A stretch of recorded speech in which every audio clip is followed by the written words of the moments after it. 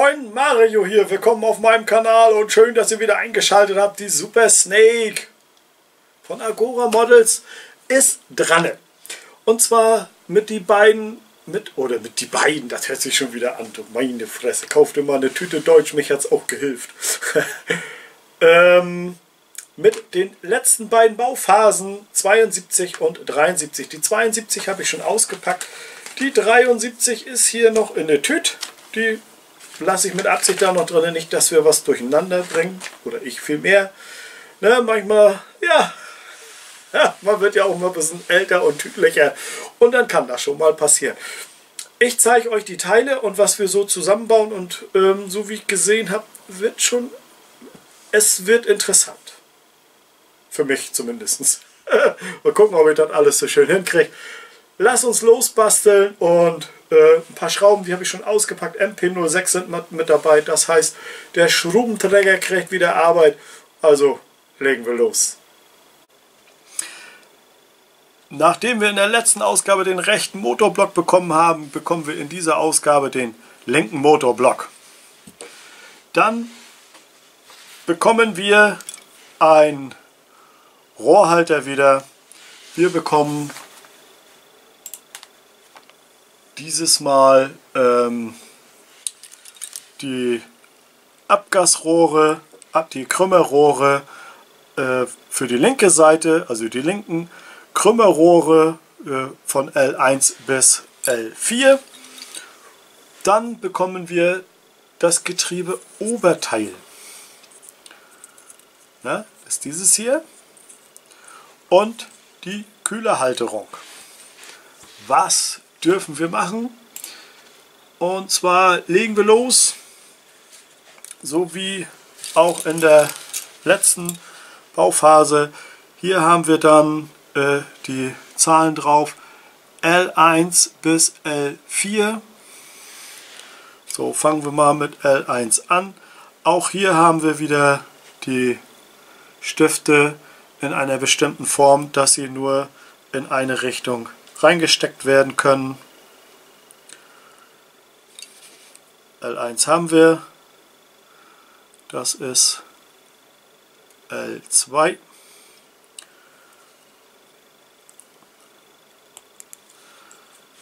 So, L3 kommt da rein.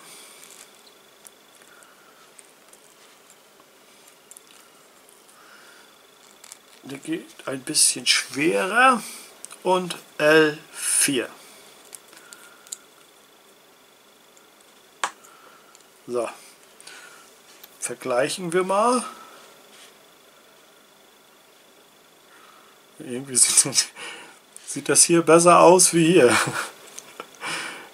Könnte sein, dass ich hier irgendwas falsch gemacht habe, aber das sehen wir später. Ich glaube, dass ich da was falsch gemacht habe. So, als nächstes werden wir den, die Motorkomponenten zusammensetzen. Und zwar nehmen wir die rechte Seite, die Stirnseite vom Motor.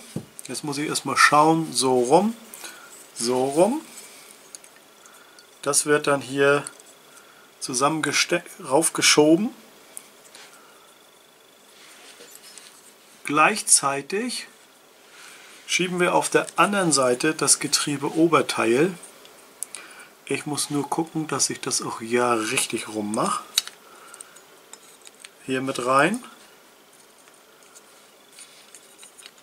Oh, das ist hier etwas wackeliger. Jetzt nicht mehr, wenn man das richtig getroffen hat, ist es nicht mehr so wackelig.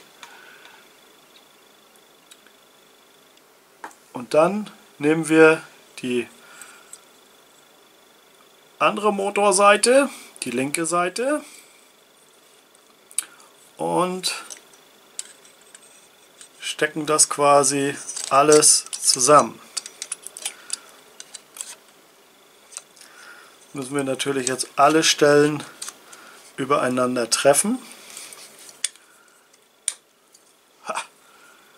So, wenn das hier noch nicht ganz zusammengeht, ich denke mal, hier werden gleich irgendwo Schrauben verschraubt, jawohl.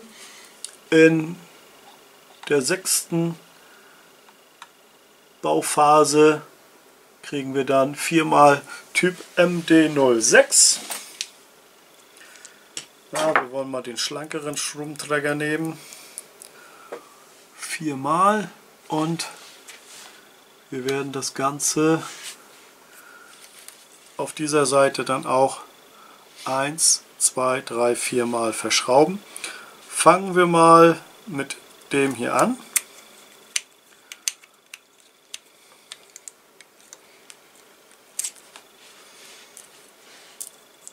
Damit wir den hier den Spalt mal ein bisschen besser zusammenbekommen.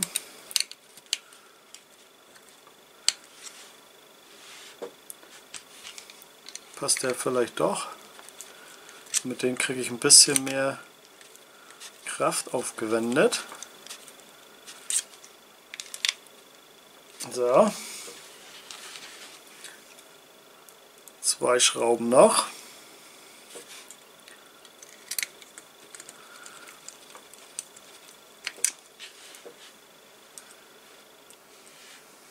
Haha.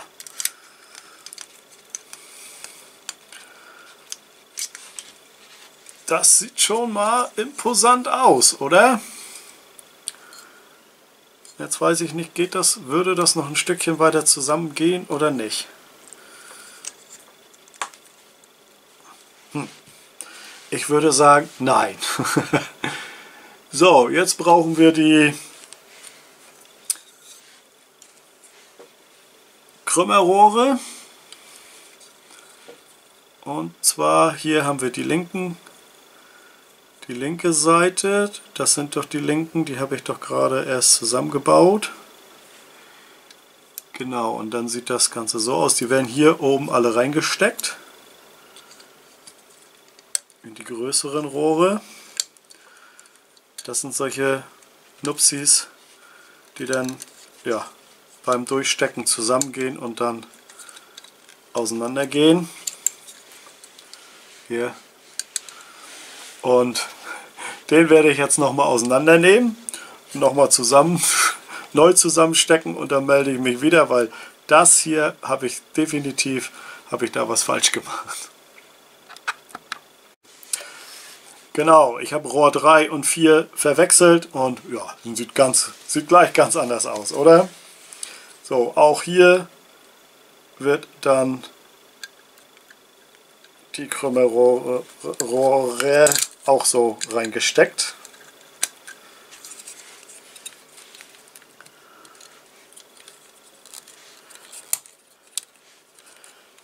So. Ja, ja. Sieht schon nach was aus. So, dürfen wir noch was machen? Jawohl. Und zwar werden wir die Kühlerhalterung nehmen und mit dem Kühler verbinden. Wir haben hier die Kühlerhalterung, die halten wir so. Den Kühler nehmen wir so, wir haben ja hier unten zwei Stifte, hier sind zwei Löcher. Das heißt, das wird dann hier einfach so zusammengesteckt. Genau, die gucken jetzt beide hier durch. So, dann haben wir das auch fertig. Ja, siehst du wohl. Genau das ist dann das Ergebnis dieser Bauphase. Und ja, jetzt gucken wir uns mal die Teile an. Ich hole die erstmal raus und dann stelle ich euch die Teile vor und dann gucken wir mal, was wir daran basteln dürfen. So, dann gucken wir uns mal die Teile an. Und zwar bekommen wir ein Verbindungskabel, dann den Motorboden, die, Motor, Mot, die Motorbodenplatte. Wir bekommen eine Drucksonde, dann eine, ein Einfüllstutzen, dann Einfüllrohrkappe. Wir bekommen den Ölkühlergrill, den Ölkühler, die Ölkühlerfront und den Ölkühler. So, dann natürlich einmal in die PDF-Anleitung geschaut, was wir tun. Und zwar werden wir den Zylinderkopf auf den Motorblock setzen. Kennt ihr ihn noch? Hier. Das glänzende. So, das Ganze wird dann so rum gestellt. Jetzt werde ich mir das noch mal ein bisschen größer zoomen, dass ich das besser sehen kann. Und zwar haben wir hier zwei Löcher drin. Hier haben wir zwei Zapfen dran. Ist dann selbsterklärend, dass das Ganze dann so hier reinkommt. Zack, zack. Was ein Apparat. Ey, sieht das schön aus. Was ein Apparat. So, steht hier was? Zwei Typ 2 MD06 Schrauben.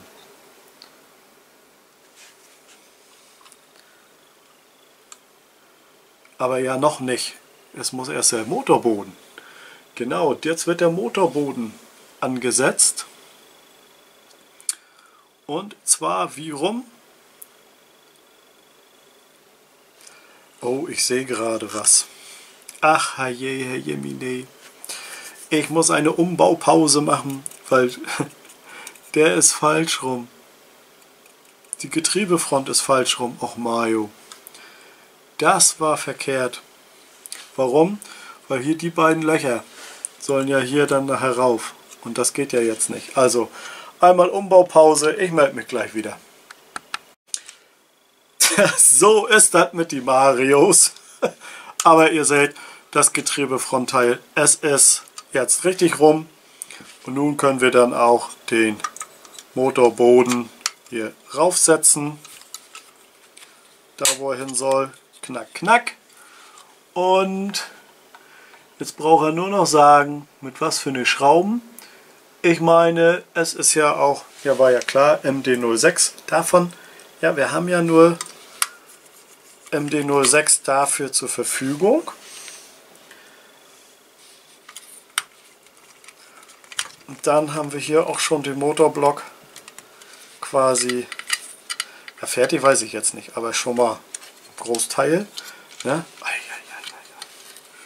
So. Gut, hier die Krümmer wackeln noch ein bisschen, aber das wird irgendwann auch vorbei sein. Gut, jetzt das einmal beiseite. Wir brauchen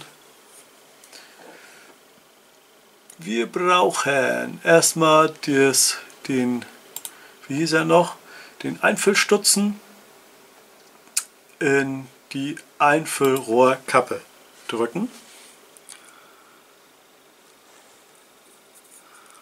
Ja, das ist erstmal keine Hexerei, einfach nur so zusammendrücken. Und ah, den Motorblock wieder hierher.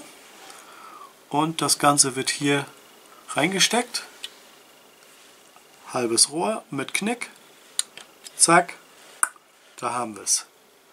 Oh, was Glänzendes zum Glänzenden. Dann brauchen wir diese Sonde und zwar diese Drucksonde. Die wird, hier ist nämlich noch ein Loch, die wird da reingesteckt, die Drucksonde. Hier ist auch selbsterklärend, wie rum die reinkommt. Das für, extra für Mario gemacht, damit er das nicht falsch anbauen kann. So, das hätten wir. Und jetzt haben wir dann das Verbindungskabel. Da müssen wir jetzt genau gucken, wie das angebaut wird. Und zwar wird das Ganze, kann ich das nochmal größer sehen, einmal hier unten am Getriebe äh, Oberteil eingesteckt und hier vorne ist ein Nupsi. Ach, hier ist der dann auch mit ja automatisch hingegangen. Da habe ich gar nicht drauf aufgepasst. diesen kleinen hier. Oh, das ist auch selbsterklärend. Gut, der ist jetzt hier nicht drinne geblieben. Bleibt da mal drinne. Und auf diesen kleinen Nupsi kommt das Verbindungskabel dann noch rauf. Genau so. Zack. Da raufgekommen. So sieht das Ganze dann aus. Das Verbindungskabel. Jetzt wollen wir uns den Ölkühler vornehmen. Wir haben nämlich noch Super Mini Schrauben MP07. Ja, sie gehen hier rauf. Gut, das ist jetzt wichtig. Wir nehmen den Ölkühler, nehmen nach dem Ölkühler nicht das Öl, den Ölkühler Grill, sondern die Ölkühlerfront. Die wird jetzt hier nämlich nur rauf zusammengesteckt. Da muss man das dann richtig, nur richtig treffen. Die Löcher, einen habe ich. Den zweiten auch, jawohl. Und von der anderen Seite wird jetzt die Ölkühler, nee, nicht die Front. Mensch Mario, hast du das schon wieder vergessen. Den Ölkühler Grill. Der wird jetzt hier raufgelegt und mit diesen ganz kleinen Schrauben wird das Ganze angeschraubt.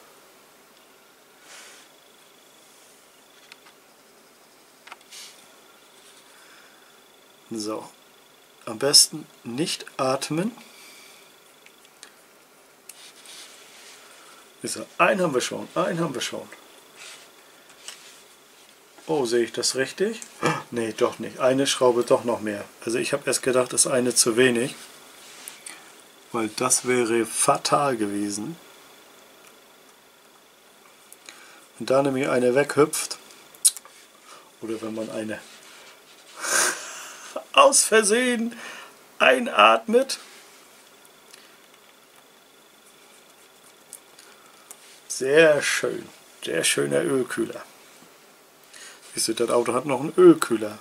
Haben alle anderen Autos auch einen Ölkühler? Ich weiß es nicht. Ich bin ja kein Kfzler. So, das haben wir. Und hier, den brauchen wir wieder.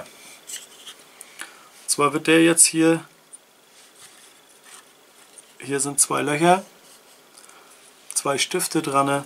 Da wird er dann jetzt reingesetzt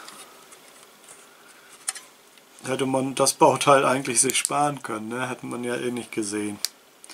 Können wir leider nicht sehen, dieses Bauteil. Aber wir wissen ja, dass es da ist. Zack, drinne, reingeflutscht. Stage 73 complete. Das Ganze, ja, bis 73 komplett. Das heißt, Mehr haben wir nicht. Das heißt nicht, mehr haben wir nicht, ist falsch gesagt. ähm, das war dann quasi Pack 9. Also, wir haben den Motor komplettiert. Sieht doch. Aber er sieht doch spitze aus. Und den Kühler. Ne? Der Ölkühler ist hier auch mit dran. Ja, Mensch, wunderbar. wieder ordentlich paar Teile geschafft. Und wie gesagt, das Pack 9 ist fertig. Wir könnten ja mal, dafür müsste ich mir einmal die Bauanleitung aufmachen. Und könnten ja mal reinschauen, was uns in Bauphase 74 zum Beispiel erwartet. Ja, auch Motorenteile. Ja, das muss ich mir erst noch übersetzen. Das kann ich, kriege ich jetzt so schnell nicht hin. Auf jeden Fall bauen wir am Motor weiter. Und ja, seid gespannt. seid neugierig, wie es weitergeht. Also ja, das ist dann sozusagen Pack 9 erledigt. Fehlen nur noch Pack 10, Pack 11, Pack 12. Bis Pack 11 habe ich schon hier, habt ihr ja schon gesehen. Mal gucken. Also ich habe jedenfalls reges Interesse daran, jetzt mit Pack 10 weiterzumachen. Ich hoffe, ihr auch. Wie gesagt, bleibt neugierig, schaut wieder rein, bleibt vor allen Dingen gesund, passt auf euch auf und mir bleibt nur noch zu sagen, tschüss, macht's gut, ahoi und kick mal wieder in.